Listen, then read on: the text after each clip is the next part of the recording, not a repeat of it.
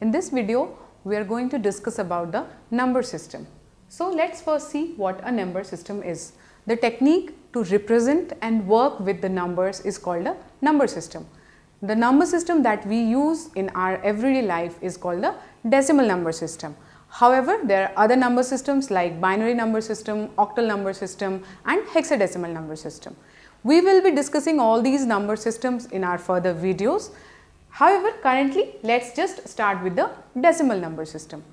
Decimal number system has 10 numbers 0 to 9, 0, 1, 2, 3, 4 till 9 and it is a positional value system. What does being a positional value system mean? It means that every digit, the value of every digit will depend upon the position that it holds. Let me take an example and tell you. See, there are three numbers 734, 971 and 207. As you can see, the digit 7 occurs in all three of them. However, the value will of 7 will be different in all of them.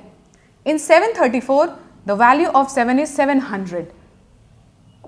7 into 10 to the power of 2. In 971, the value is 7 into 10 to the power of 1. In 207, the value of 7 is 7 into 10 to the power of 0. So, here it is 2, here it is 1 and here it is 0. Why? Because it is a positional value system. The every position has got a weightage which we calculate like this.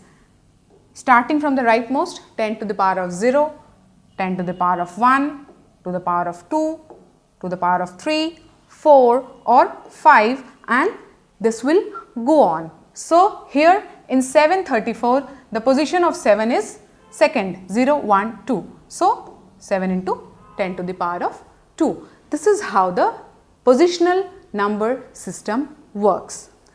Now, when we talk of a computer system, it understands only zeros and ones.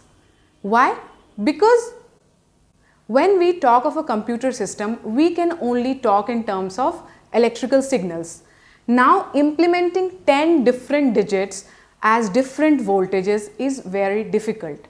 So, we need to have some other number system using which we can work with computers. In our next video, we are going to discuss another such number system which is the binary number system.